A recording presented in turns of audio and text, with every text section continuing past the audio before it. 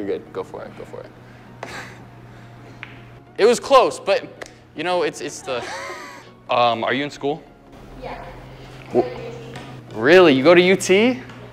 Oh no. You like UT? Yeah. You do? I think UT are. Uh, UT are. I think they're haters, man. I think they're haters. I go to. Well, I just graduated. I did go to Southwestern Georgetown, but um, I'm actually banned from UT. What? I am. I'm actually banned from UT. I uh, I was filming, and they ended up not liking me film. They said they didn't like me filming there, but I think it was just because they were jealous of the aesthetics, you know. Where at? Gregory Gym. So after pool, we decided to go to the pool. So we make a quick stop by my apartment to change into my swimsuit real quick. This is actually a really good move because now the girl is more comfortable with my place and she'll be even more likely to come up there after the date. Now from here on out, you will not be able to hear the audio because I left the mic